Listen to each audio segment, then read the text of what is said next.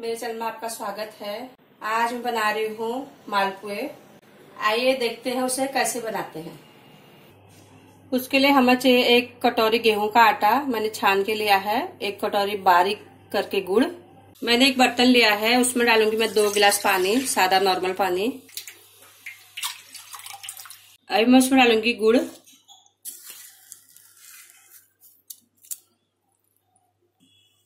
इसको अच्छे से हम मिक्स कर लेंगे।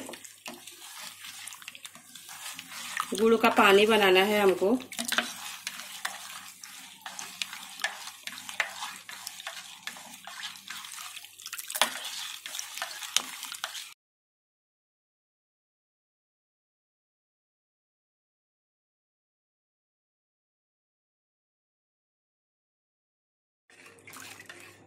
ये देखिए, मेरा गुड़ का पानी बन चुका है। गुड़ बिल्कुल नहीं दिखना चाहिए। अभी मैं इसमें डालूँगी आटा। थोड़ा थोड़ा करके डालेंगे, तीन चम्मच करके, और इसको अच्छे से हिलाएँगे।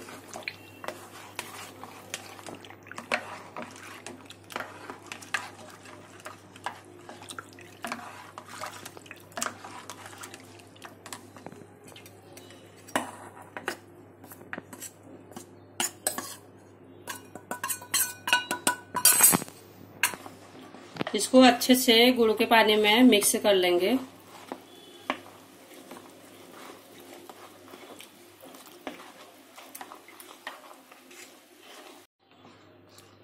अगर बटर पतला हो गया हो तो उसमें आटा और ऐड कर सकते हैं। अभी मैं इसमें आधा कटोरा और आटा ऐड करूँगी। और इसको अच्छे से मिक्स कर लेंगे। आटे में गांठ नहीं आना चाहिए। अब इसको अच्छे से फेंट लूँगी मैं।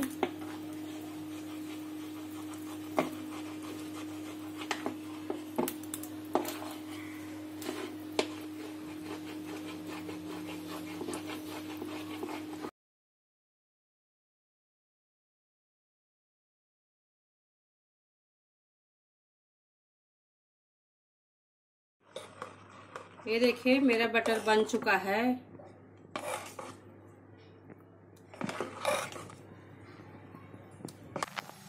मैंने एक कढ़ाई रखी है। आप कोई भी कढ़ाई में बनाए, गैस फास्ट रहेगा। उसमें मैं तेल डालूँगी तलने के लिए।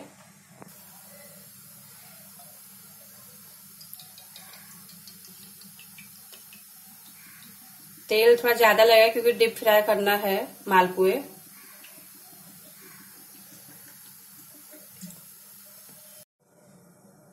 तेल को अच्छे से गरम करना है। मालपुए बनाने के लिए मैंने ऐसा करची यूज़ किया है। ऐसे हमको हाथ फेर लेना है, गोल करके डालना है।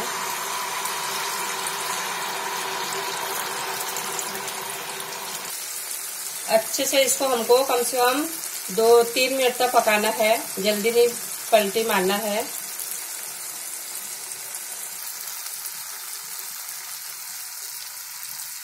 ये देखिए, साइड से गोल्डन ब्राउन हो चुका है। अभी मैं इसको करची लेके पलटी मार लूँगी अच्छे से।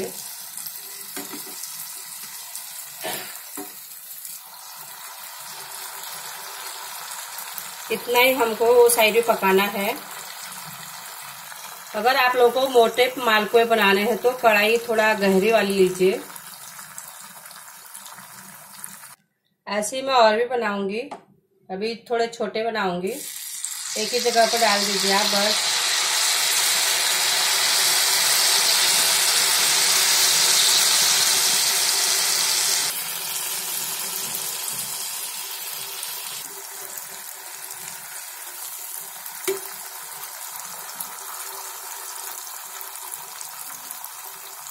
आप लोग मालपुए के साइज़ अपने हिसाब से बना सकते हैं।